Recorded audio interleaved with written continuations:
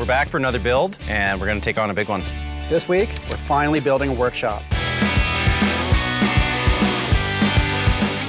I'm Andrew. I'm Kevin. Welcome to Brojects. In a fantasy workshop, what would you have? I'd like to have a proper planning area. Good workbenches, Shelving, obviously. a couple lockers. Build a giant deck. Totally. And we want big giant doors. That's plenty. Now on to planning of the building. What do you think the building is going to look like? I just got off the phone with a buddy of mine. He's actually got a little metal container, like a shipping container on his lot that he said we could have. We'll start the workshop by cutting an opening in the side of the shipping container to allow for easy access. Inside, we'll have plenty of space for storage and planning, while a deck out front will give us a level building platform. The can's strength will also allow us to build a rooftop deck, somewhere to hang out and enjoy the view. Just looking for uh, spots for this workshop. I think this area is going to be actually perfect. We've got that mini cottage on one side that'll be kind of command central. We build the workshop from like here over. Stereo, some lights, planning room. Yep. So we're dropping off the workshop in the driveway. Careful. We got it down the driveway, which was uh, a feat in its own right. All right, let's open it up and see what it's like. So what I was thinking was we could cut out one of these walls and put doors in it. I like it. Uh, basically just putting down the foundation for the building. You have to put a building on something, so the deck and the building will move together. This is going to be decked and be our little flat place out in front to build on. There's a bit of rust up here from this thing being bashed around over the years. So just putting a little bit of rust paint on here to extend the life of the can. Now that we build the deck off the front of this, it'll be more or less level right into the can. We changed up our design. At one point in time, the shipping container was gonna sit on these big six by six posts. Now we've got this giant deck in front. Just gonna cut a hole in it. Are you 100% sure that's it? Yep.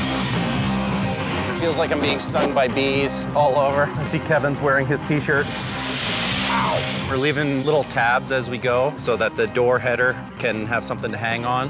Here's the big moment.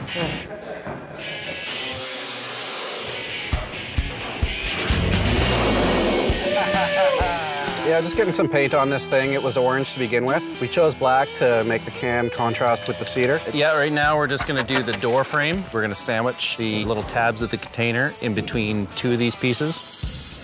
Take some bolts and bolt it all together and hope that it's strong enough. The next big worry for me is, is the doors. We've got fairly heavy duty hinges to hold this thing, but it weighs a ton.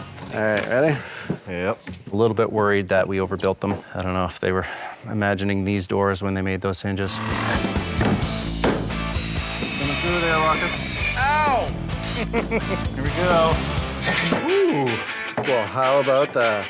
Feels like a beefy door. All right, now uh, we just have to do the other one. It works. We all feel very good about this. Group hug. Definitely. We're just gonna trim out the edge of the deck here, and then we'll be done the deck. This is just like the base of the door, then we'll pretty it up and put a little cedar shingles all over it. I had initially believed this building was going to be wood, and then the sea can came in on the back of the truck. I couldn't believe my eyes. Look what it turned into. The old paddle trick, eh? Comes in handy every time. We needed to get organized and have a level space to build, so we took an empty shipping container and turned it into the ultimate cottage workshop. Now we not only have lockers, shelves, and a workbench, but also a massive deck for building and a rooftop patio for putting your feet up after a long day. You can see a lot from up here. Can. Swim platform, shower. What do you want to do? Build something. we should uh, we should organize this place. Well, that would be a start.